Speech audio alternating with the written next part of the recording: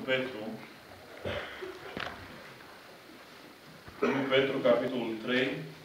Și vom citi de acolo, de la versetul 1 la versetul 8.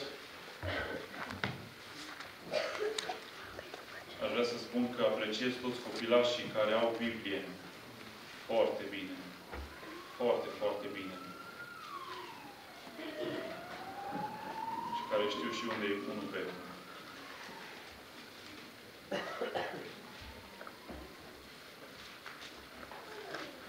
Unu Petru, capitolul 3, de la versetul 1 la versetul 8.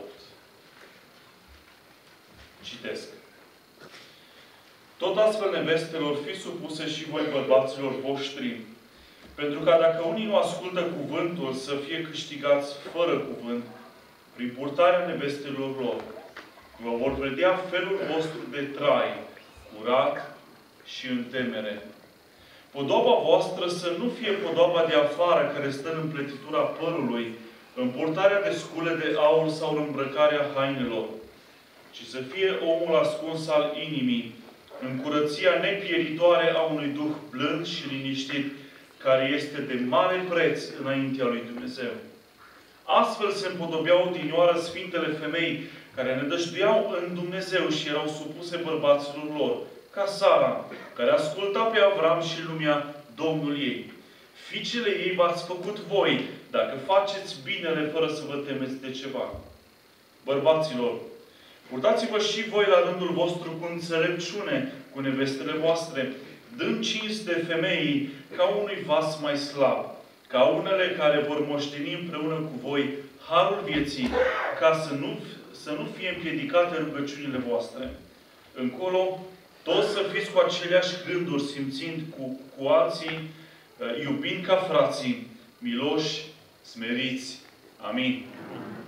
Vă rog să reocupați.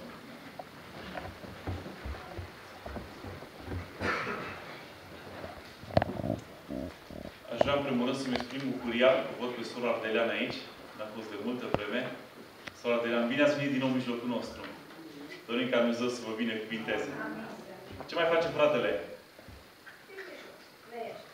Vinișor. Faptul că trăiește e vinișor. Domnul să-l întărească și să-l binecuvinteze și pe el acolo unde este. Tema din dimineața aceasta este împodobirea. Din tot textul pe care l-am citit, uh, vom trece practic prin versete, dar tema principală din această uh, dimineață este împodobirea. Ce e clar pentru mine din textul acesta vis-a-vis -vis de împodobire, este că Dumnezeu promovează împodobirea. Dumnezeu dorește împodobirea vieții noastre. Întrebarea este, cum vrea Dumnezeu să ne împodobim viața? Și când zice El, vreau să te împodobesc, în ce fel și în ce sens se referă Dumnezeu că vrea să ne împodobească? Și când am citit textul, bineînțeles, mi-am asumat Uh, responsabilitatea, știind că textul acesta, ăsta e adevărul, e un text cu multă polemică și sunt multe uh, semne de întrebare și uh, sunt multe interpretări. Le-am citit și eu și le cunosc în mare. Nu știu, probabil că sunt mai multe decât știu, eu știu numai câteva cel puțin vis-a-vis -vis de textul acesta și mai ales, mai ales pe versetul 3 și versetul 4 sau mai ales pe versetul 3.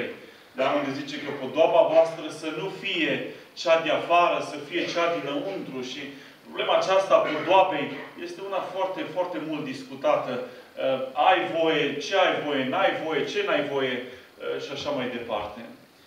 Și de obicei când se citește un astfel de text, sunt și persoane, membri din biserică și nu numai, care sunt foarte curioși, ce a zice acum pastorul sau predicatorul despre podoabe? Avem voie, nu avem voie și așa mai departe. Uh, în dimineața aceasta vreau să știți că cel care emite cele mai multe pretenții, deci nu trebuie să înțelegem lucrurile astea, nu sunt membrii bisericii, ci Dumnezeu. Din textul acesta, cel care emite pretențiile este Dumnezeu. Textul acesta și el la rândul lui e inspirat de Dumnezeu. Și de aceea când uh, citim un astfel de text, bineînțeles, trebuie să ne punem întrebarea ce vrea să ne spună Dumnezeu de fapt. Ce vrea Dumnezeu să înțelegem din textul acesta de fapt? și ce pretenții are Dumnezeu de la noi și vis-a-vis de împodobire, ce vrea Dumnezeu să împodobească în viața noastră cu adevărat. Bineînțeles că primul lucru, atunci când vorbim de împodobirea pe care o vrea Dumnezeu în viața noastră, din textul acesta, primul lucru pe care aș vrea să-l scot în evidență este că dacă vrei să te îmbogățești și să te împodobești cu adevărat înaintea lui Dumnezeu, trebuie să înțelegi mai întâi lucrurile care nu sunt plăcute înaintea lui Dumnezeu. Nu sunt plăcute înaintea lui Dumnezeu. Și am să vă spun de ce folosesc o astfel de formulă. În versetul 4 este o expresie. Ultima expresie care e deosebită. Care este aceasta? Citesc mai întâi tot versetul. Ci să fie omul ascuns al inimii în curăția nepierditoare a unui duh blând și liniștit, care este, citiți cu voce tare, care este de mare preț înaintea lui Dumnezeu. Sunt lucruri de mare preț înaintea lui Dumnezeu și acum vă întreb, în lumina unei astfel de expresii, cum pot să studiez versetul 3? Că sunt și lucruri care nu au mare preț înainte lui Dumnezeu sau sunt lipsite de valoare înainte lui Dumnezeu. Și întrebarea pe care o am în această dimineață este ce îți dorești cel mai mult? Lucrurile care sunt de preț înainte lui Dumnezeu și trebuie să fie în viața ta sau, de fapt, viața ta este împodobită cu lucrurile care nu au valoare înainte lui Dumnezeu. Și dacă viața ta la momentul acesta este plină, plină, din, plină, plină de, de lucruri care nu au valoare, întrebarea este ce faci? Și ce fel de viață este asta înainte de Dumnezeu? Pentru că sunt și lucruri în viața noastră care au valoare înainte de Dumnezeu și sunt lucruri care nu au valoare. Trebuie să o recunoaștem. Care nu au valoare. Și întrebarea este, din toată aglomerația vieții noastre,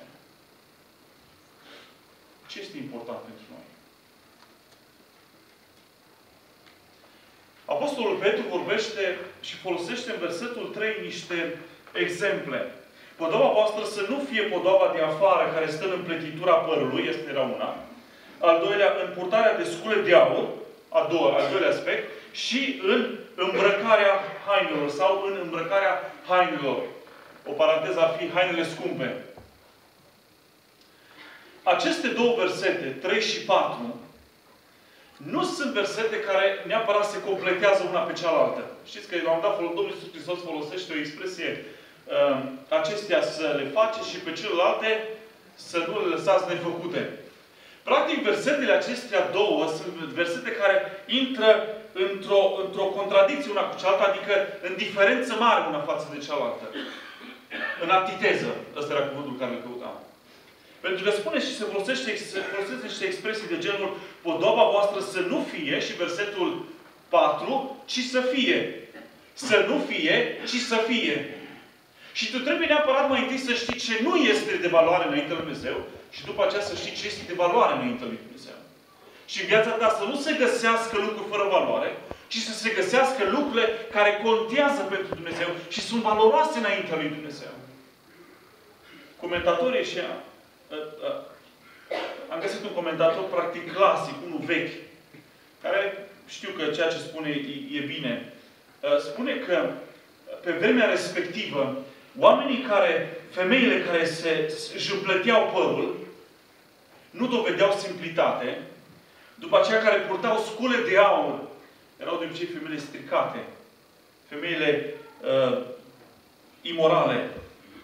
Și după aceea când zice îmbrăcarea hainelor, traducerea este scumpe, um, e vorba despre extravaganță. Și bineînțeles că se ține cont și de cultura în care trăiau în vremea respectivă. Știu că au fost vremuri în care și zone, mai ales pe vremea mai veche, uh, la noi în România, în care uh, împletitul părului și legatul părului însemna modestie, eu așa știu. Și desfăcutul părului însemna uh, că tu etalezi nu știu ce. Și, și foarte interesant modul în care în diferite zone se gândește într-un anumit fel.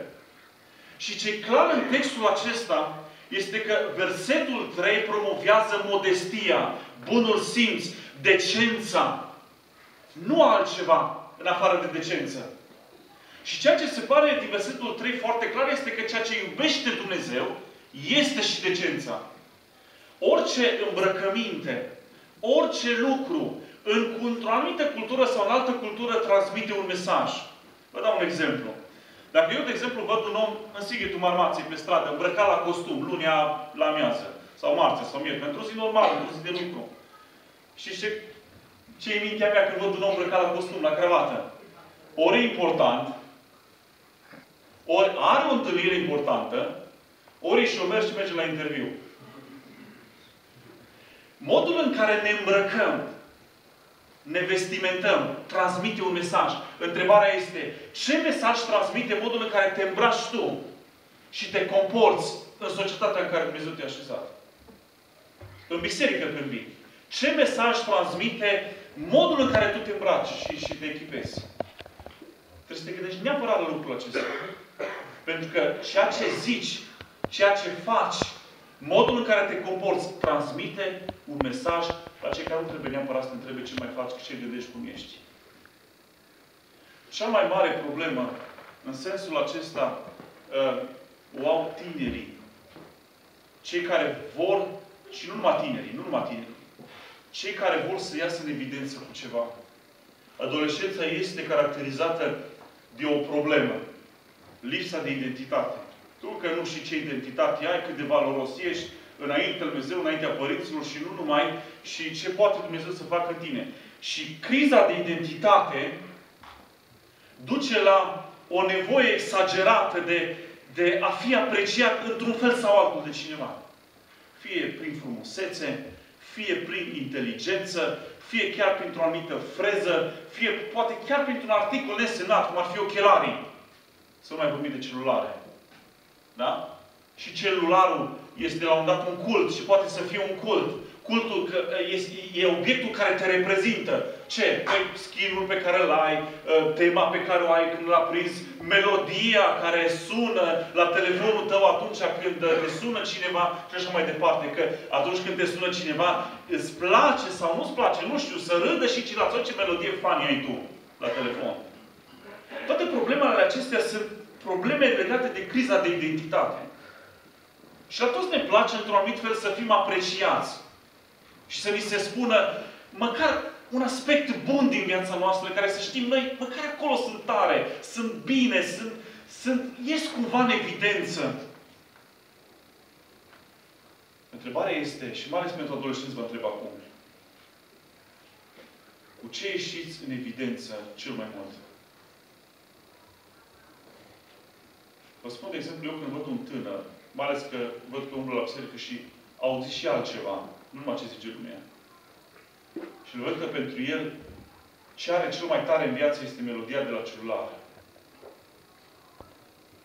Poate eu nu am să gândesc să se predea Domnului. Îmi plânge inima. Îmi plânge sufletul.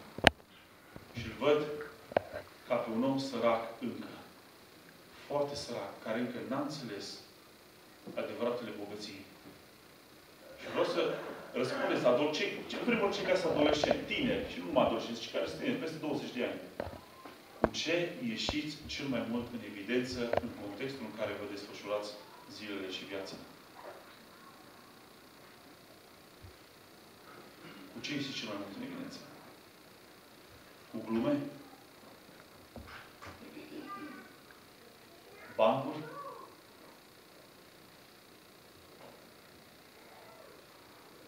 Și zic asta și vă întreb asta pentru că există problema aceasta că poți să ieși în evidență cu lucruri care nu sunt de valoare înainte de Dumnezeu. Și când ieși în evidență cu lucruri care nu sunt de valoare înainte de Dumnezeu, îți spun eu, viața ta nu e de valoare înainte de Dumnezeu. El te iubește și știe ce vrea și ce știe ce vrea El să devii tu. Dar dacă încă te porți ca un om sărac din punct de vedere spiritual, îmi pare foarte foarte, foarte rău. Și Apostolul Petru este cel care vorbește despre comoara aceasta, care nu trebuie să fie altceva decât Dumnezeu. Domnul Iisus Hristos a vorbit despre comoară. Și rămân la aceeași întrebare. Ce vă scoate în evidență? Pentru că vreau să răspundeți mai departe la această întrebare sub altă formă. Zice Domnul Iisus Hristos, nu vă strângeți comori pe pământ unde le mănâncă molile și rugina și unde le sapă și le fură hoții. Strângeți-vă comori unde? Ziceți, frații. Strângeți-vă comori în cer. Unde nu le mănâncă molile și rugina și unde hoții nu le sapă, nici nu le fură. Și după aceea Domnul Iisus Hristos folosește o expresie care e ca un proverb. Pentru că unde este comoara voastră, acolo este și inima voastră.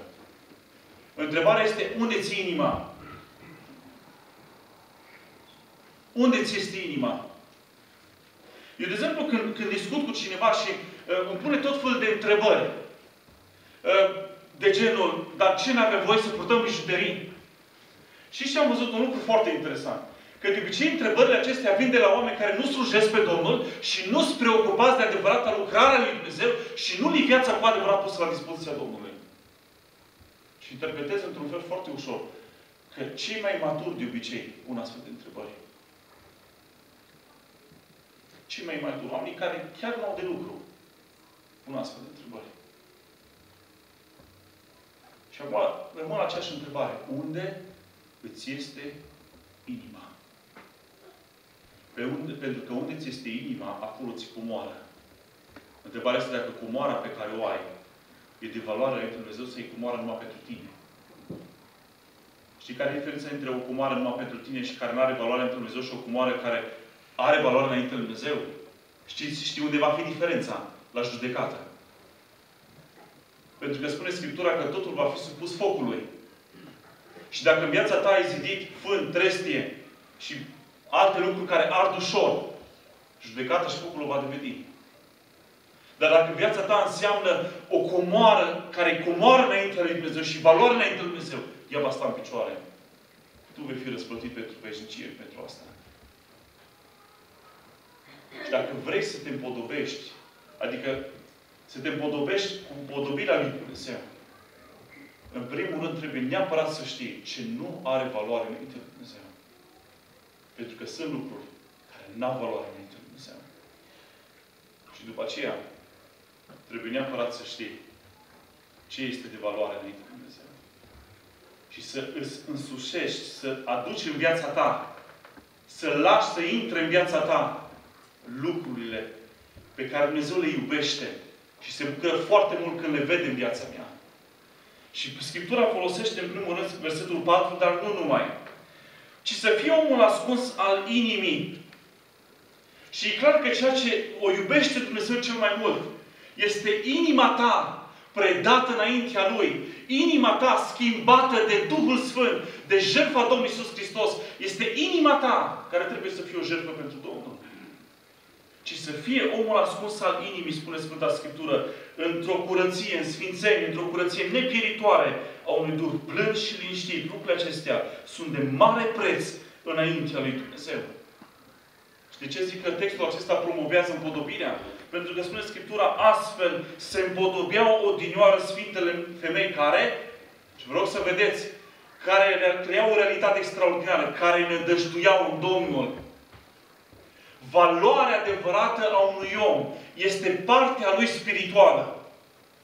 Când un om nu este bogat spiritual, poate să aibă mașină și casă și plăceri pământești, când nu are nimic decât iadul în față.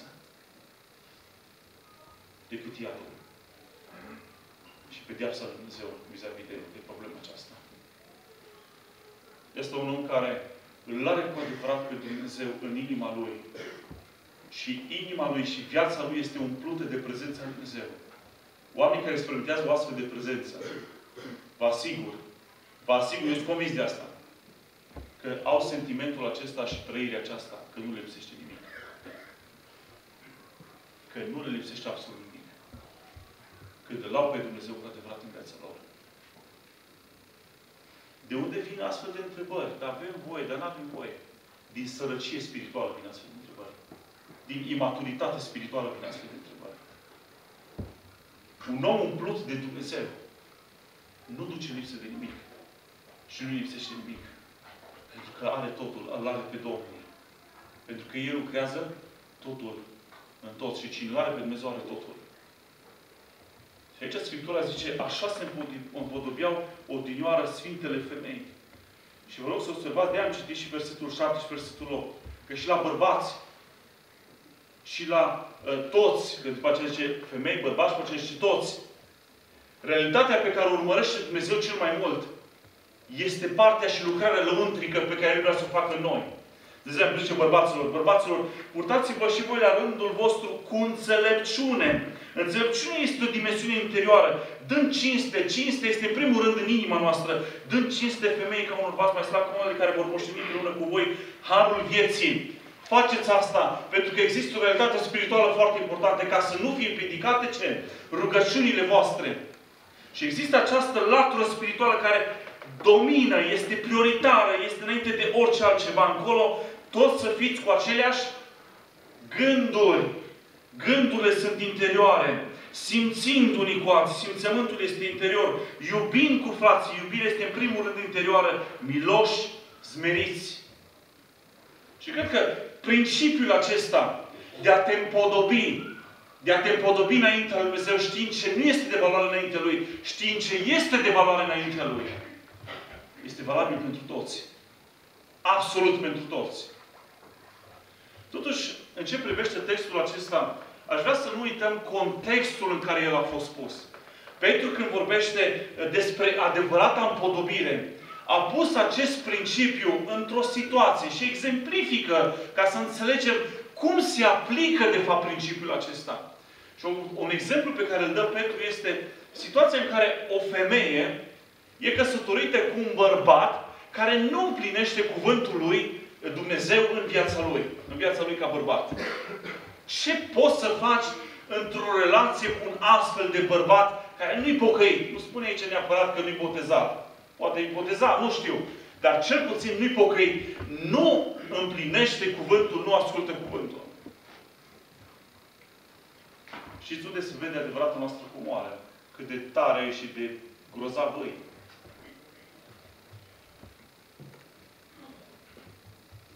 Sora Mariana știe cel mai bine, știe care a fost încercați. Acolo se vede încercare.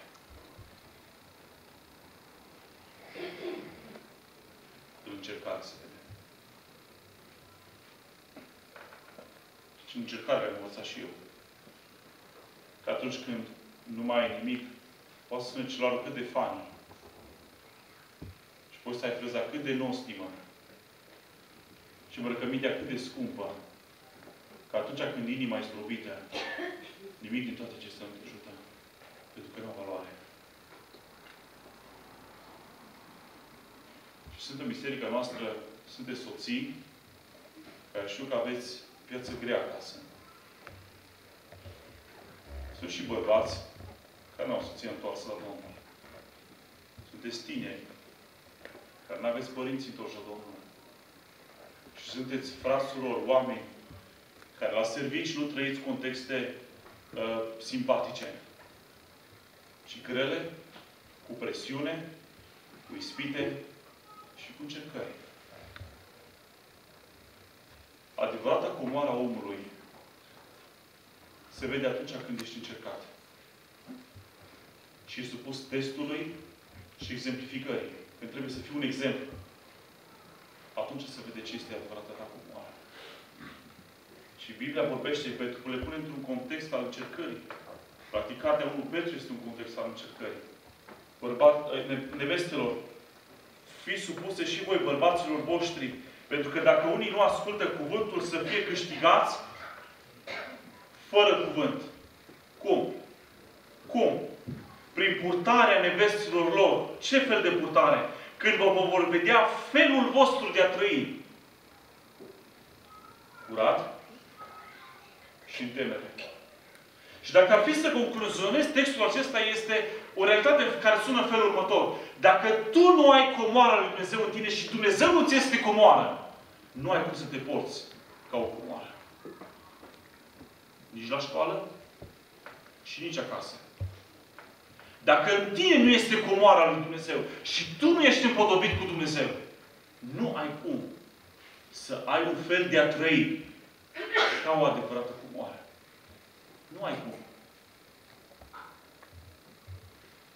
Și încercarea Apostolul Petru le spune că femeile care sunt încercate, bărbații care sunt încercați, cei care sunt încercați, trebuie să trăiască cu un comportament exemplar. Exemplar. Curat și în temere. Ce înseamnă comportament exemplar? Există aici, la un dat, două cuvinte foarte interesante. Zice acolo, în temere, și la un dat când le vorbește femeilor, le spune, în versetul 6, să faceți binele fără să vă temeți de ceva.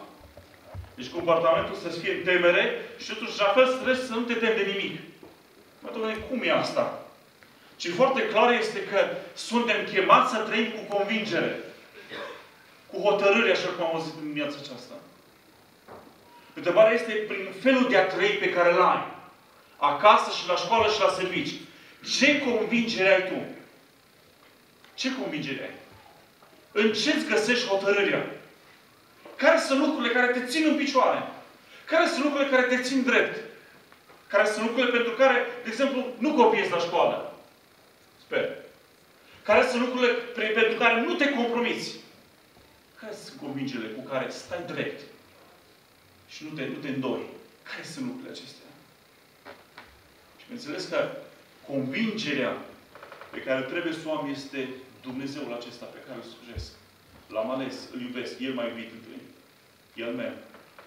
El este adevărată comoară. Și cine are pe Dumnezeu, a găsit adevărată comoară în viața lui. Situația aceasta că uh, nevestul fi supuse, dacă ai un bărbat care nu ascultă cuvântul, um, uh, poartă-te frumos, câștigă-l fără cuvânt. Nu e o situație ușoară.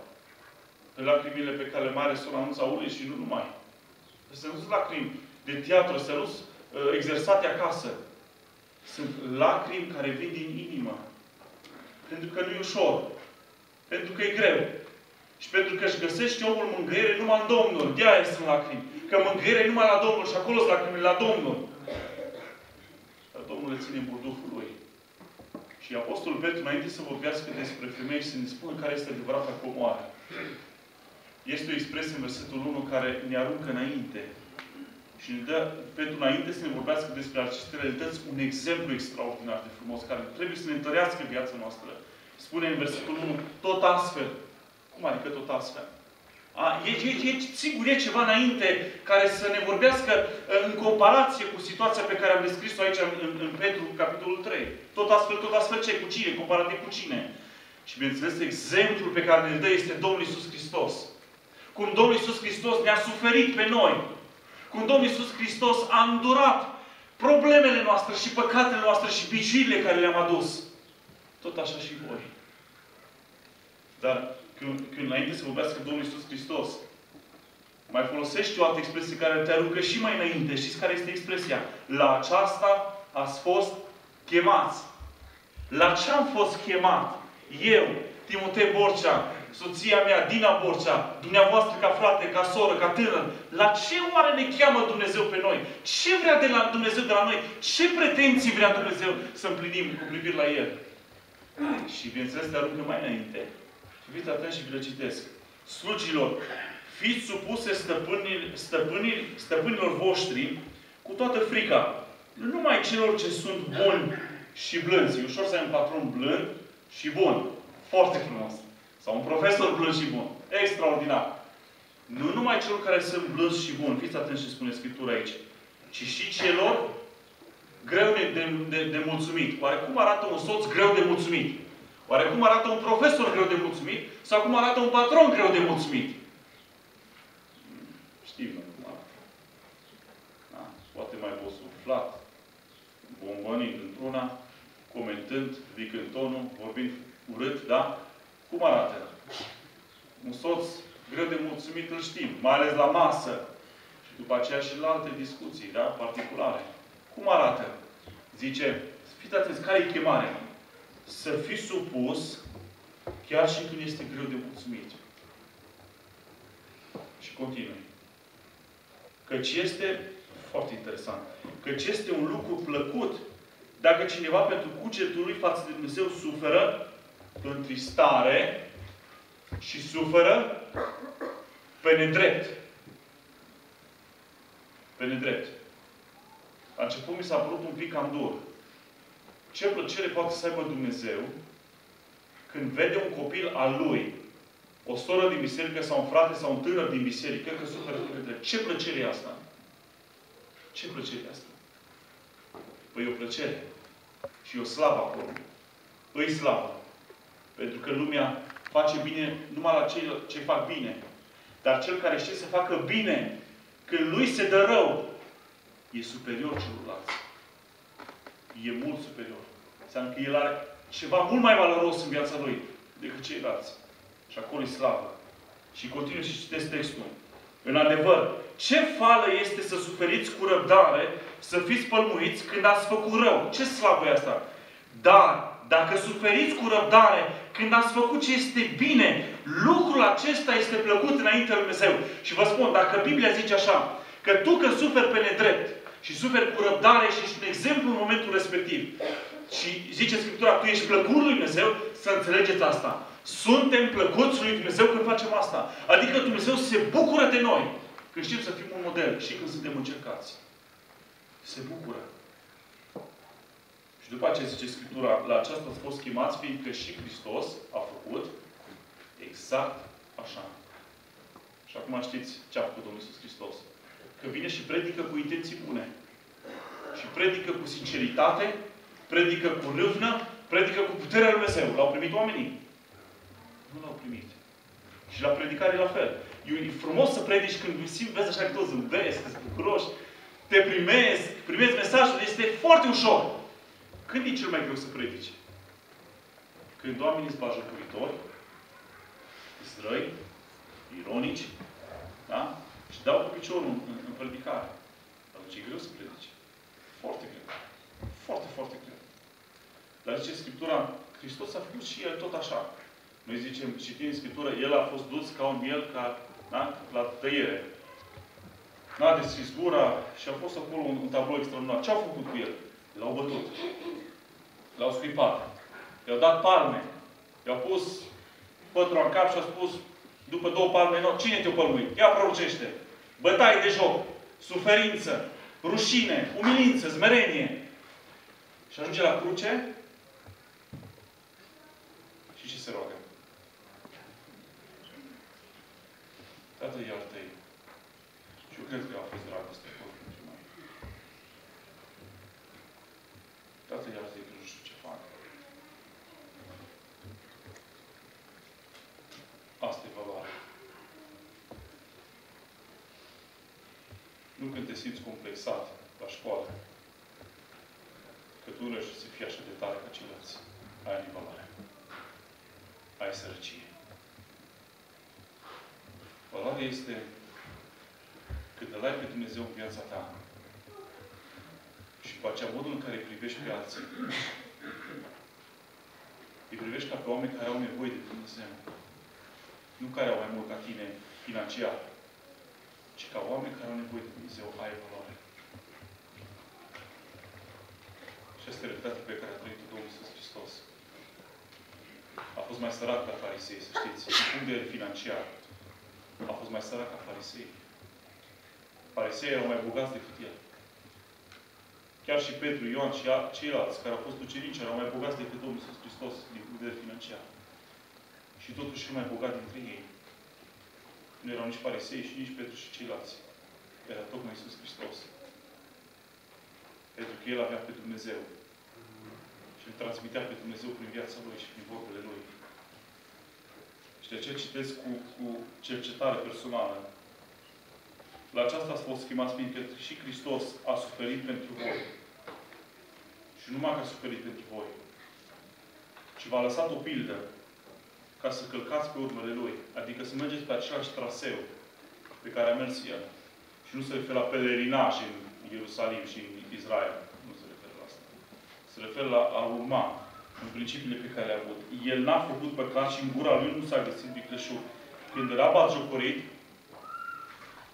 ce s-a întâmplat? Nu răspundea cu batjocură. Când cineva face ironii pe seama ta, nu răspunde cu cu ironii înapoi. Ăsta nu e model. Ăsta nu e exemplu. Când era bajocorit, nu răspundea cu bajocorit. Când era chinuit, ce, fac, ce face lumea când ne strânge la ușă? Te amenință. Cum? Lasă că să arăt eu, vezi tu. Zice Scriptura, când El era chinuit și când noi suntem chinuiți, să nu amenințăm. Să nu amenințați niciodată. Citesc mai departe. Și se supunea dreptului judecător.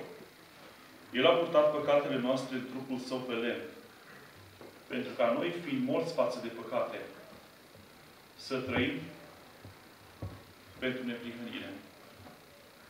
Și tot ce a fost suferință pentru El s-a transformat în binecuvântare pentru noi. Și să știți că lucrul acesta e real și, și în viața noastră. În măsura în care noi știm să suferim uh, chiar și pe nedrept și să rămânem un, un model chiar și în încercare, va fi o binecuvântare pentru alții. Care se uită, ne urmăresc și așteaptă să vadă pocăiți model.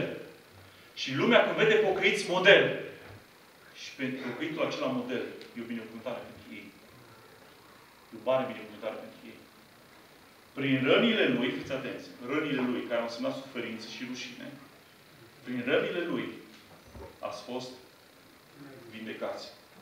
Și ceea ce a fost pentru el suferință și încercare, dar model, pildă, este o binecuvântare acum pentru mine. Care stau după 2000 de ani și citesc despre el cât de frumos a trecut prin încercare și prin viață. Și pot să citesc despre el și ceea ce a fost suferință pentru el atunci. Pentru mine este binecuvântarea astăzi. Încercarea îți va dovedi cum oară. Și să știți că au fost și în viața mea oameni care ți minte cum au reacționat și cum s-au comportat în încercare. Și când am văzut nădejdea care a avut-o în Domnul, mă marchează pe mine pe viață. Pentru că și eu vreau să am încredere în Domnul pe care au avut-o ei când au fost încercați. Și ce a fost suferință pentru ei atunci, e binecuvântare pentru mine astăzi aici. Și o întrebare pe care o pun este, și numai aceeași întrebare, vis-a-vis de împodobirea pe care o vrea Dumnezeu în viața noastră. Care îți este adevărata ta comoară? Care îți este adevărata ta comoară?